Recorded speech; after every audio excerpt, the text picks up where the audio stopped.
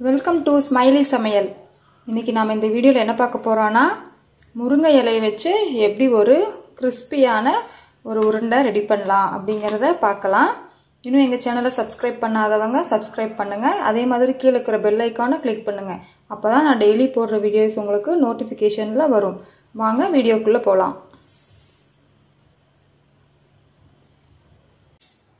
இந்த முருங்கையில் உருண்டை செய்கிறதுக்கு நம்ம வந்து வேர்க்கடலை ஒரு கால் கப் எடுத்துருக்கேன். அதை வந்து மிக்சியில் போட்டுடலாம். அது கூட முந்திரி ஒரு நாலஞ்சு. அதையும் போட்டு தண்ணியெல்லாம் விடாமல் நல்லா குறை குறைப்பாக அரைச்சி எடுத்துகிட்டு வந்துடலாம்.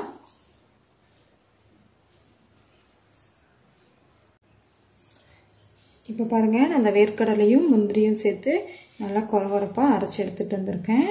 அடுத்து நம்ம ஒரு பவுலில்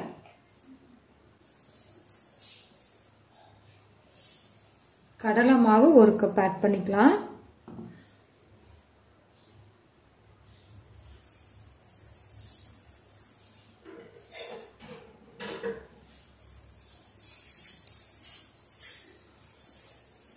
கடலை மாவு ஒரு கப்பு போட்டாச்சு. அப்புறம் நாம் இந்த அரைச்சி வச்ச பவுடரை ஆட் பண்ணிக்கலாம்.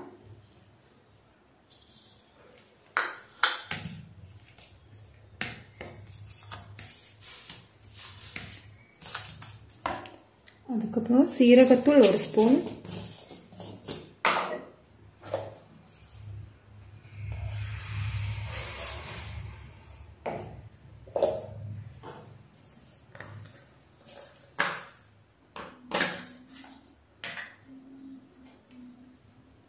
கரம் மசாலா ஒரு ஸ்பூன்.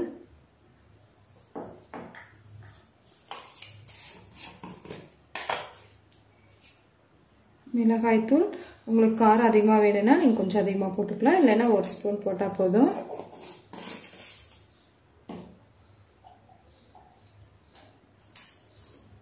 உப்பு கொஞ்சமாக இதை வந்து நல்லா மிக்ஸ் பண்ணிடலாம்.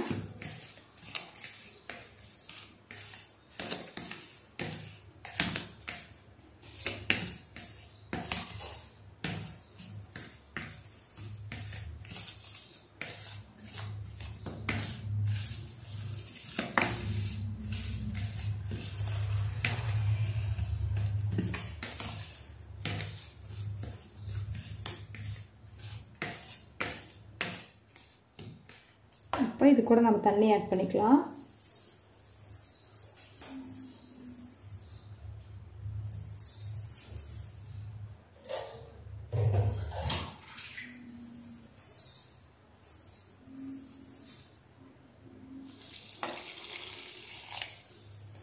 நீங்கள் வந்து இதை கையிலேயே கூட நல்லா கரைச்சிக்கலாம். இட்லி மாவு பதத்துக்கு நல்லா மிக்ஸ் பண்ணிக்கலாம். கட்டி வராமல் நல்லா கரைக்கணும்.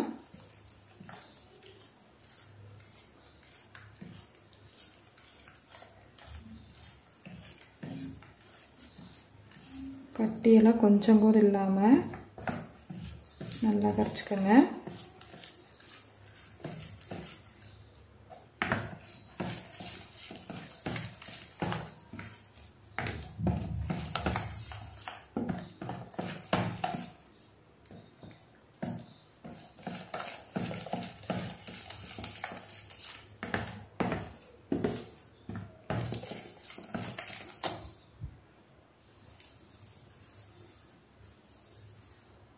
இப்போ நம்ம நல்லா மிக்ஸ் பண்ணியாச்சு.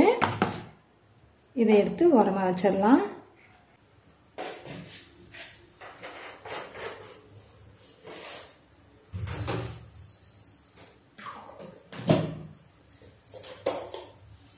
பேன் நல்லா காஞ்சிச்சு இப்போ ஆயில் விட்டுடலாம்.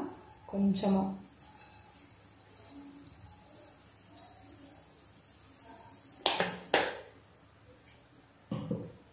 கொஞ்சமாக ஆயில் விட்டு ரெண்டு சீரகம் போட்டுடலாம்.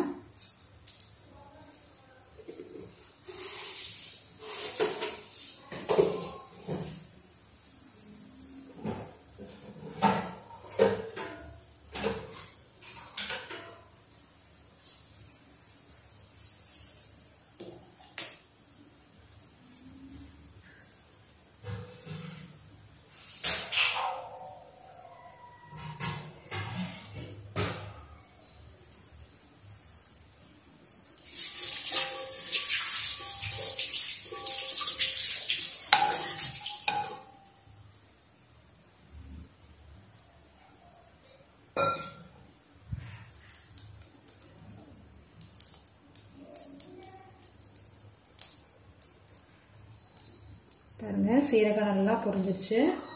இப்போ நாம் நான் வந்து முருங்கையில் ஒரு கப் எடுத்து க்ளீன் பண்ணி வச்சுருக்கேன். அதை ஆட் பண்ணிடலாம்.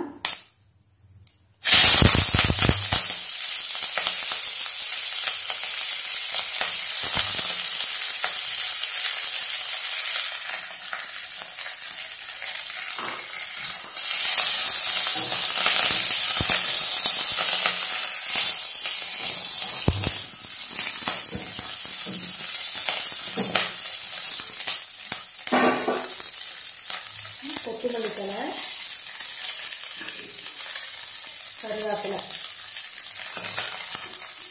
மூணையும் போட்டு நல்லா வதக்கிடலாம். லோ ஃப்ளேம்லேயே வச்சுருங்க. இல்லைன்னா இலையெல்லாம் கருகிடும்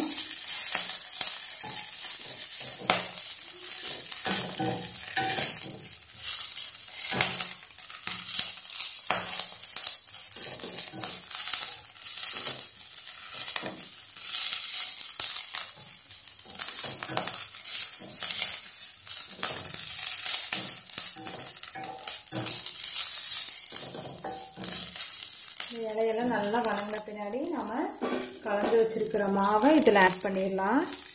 ஃப்ளேம் வந்து லோலையே இருக்கட்டும்.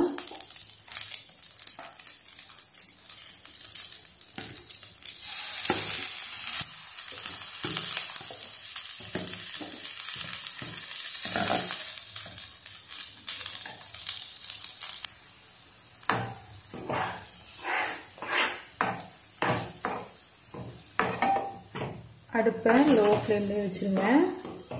ஹை பண்ணிட வேண்டாம்.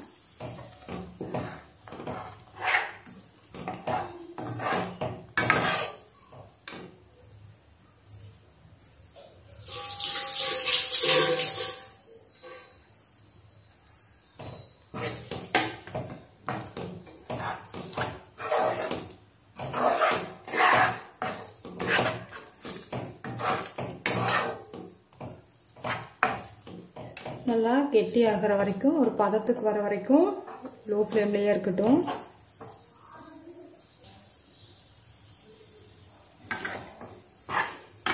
இப்போ பாருங்க மாவு நல்லா பதத்துக்கு வந்துருச்சு.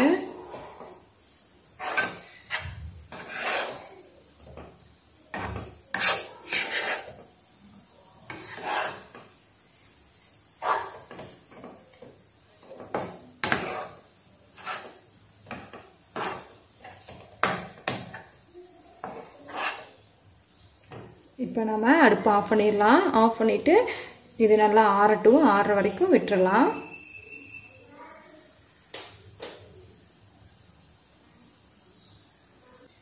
இப்போ பாருங்கள் நல்லா ஆறிடுச்சு. இதை வந்து நம்ம கையிலேயே நல்லா மசிச்சு விட்டுறலாம். உருளைக்கிழங்குலாம் எப்படி மசிப்பீங்களோ அதே மாதிரி நல்லா மசிச்சிடலாம்.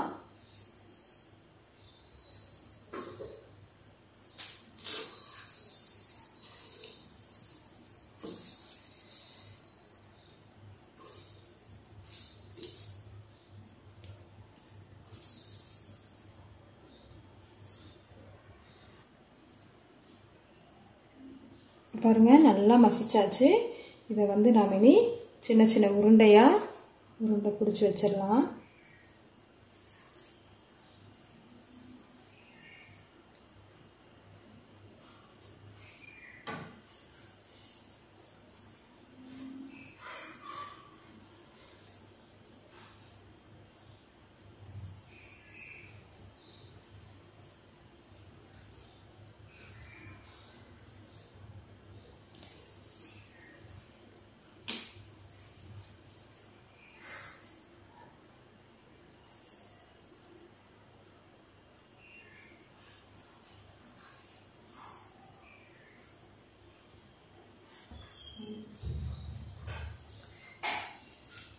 இப்போ பாருங்கள் இது எல்லாமே குட்டி குட்டி பால்ஸாக நான் பிடிச்சிட்டு வந்தாச்சு.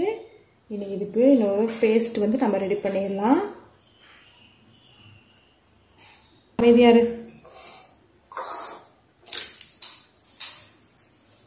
இப்போ இந்த பேஸ்ட்டுக்கு நான் என்ன எடுத்திருக்கேன்னா மைதா ரெண்டு டீஸ்பூன் கார்ன்ஃப்ளவர் ரெண்டு டீஸ்பூன் கொஞ்சமாக உப்பு அவ்வளோதான் இதை வந்து நம்ம தண்ணி ஊற்றி மிக்ஸ் பண்ணிடலாம்.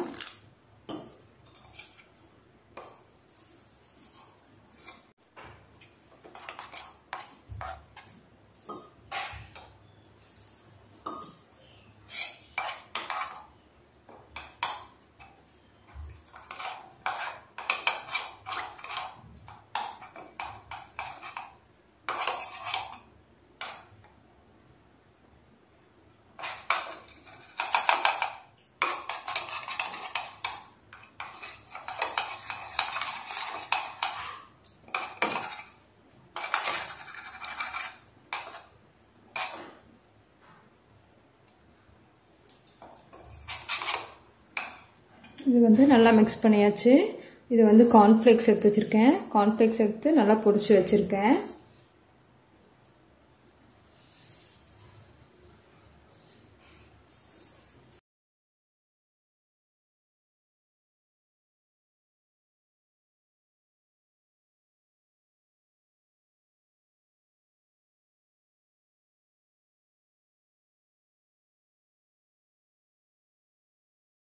இப்போ நாம் வந்து இந்த பால்ஸை வந்து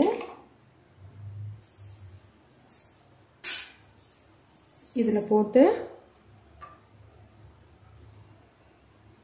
நெக்ஸ்ட்டு இந்த கான் கான்ஃப்ளெக்ஸில் போட்டு ரொட்டி எடுத்து வச்சிடலாம். இதே மாதிரி மீதி இருக்கிற எல்லா பால்ஸையும் இந்த கான்ஃப்ளெக்ஸில் போட்டோம்னா நல்லா கிறிஸ்பியாக வரும். அதுக்காக தான் இதே மாதிரி எல்லா பால்ஸையும் நம்ம ரெடி பண்ணி வச்சிடலாம். இப்போ பாருங்கள் எல்லா பால்ஸையுமே நாம் அந்த பேஸ்ட்லேயும் கார்ன்ஃப்ளேக்ஸ்லேயும் ஃபுல்லாக டிப் பண்ணி எடுத்து வச்சுருக்கோம்.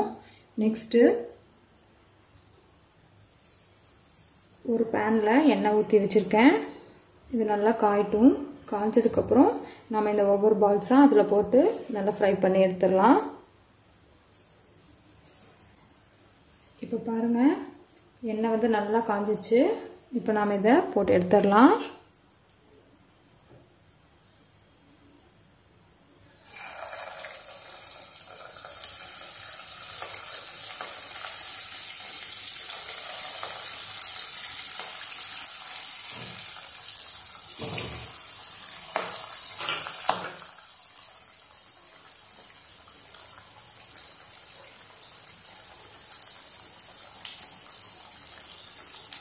ஒரு டூ மினிட்ஸ் வெந்ததுக்கப்புறம் நம்ம திருப்பி போட்டுடலாம்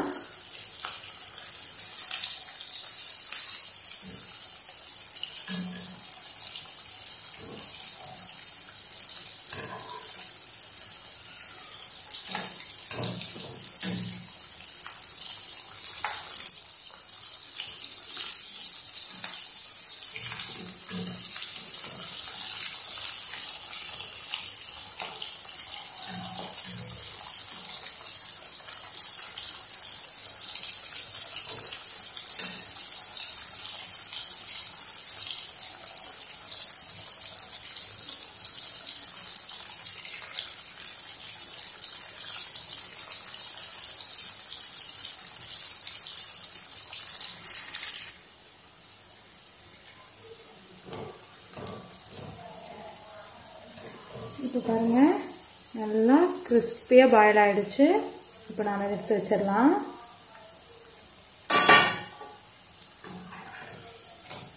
இதே மாதிரி மீதி இருக்கிற எல்லா பால்ஸையும் நாம் இந்த எண்ணெயில் பொறிச்சு எடுத்துடலாம்.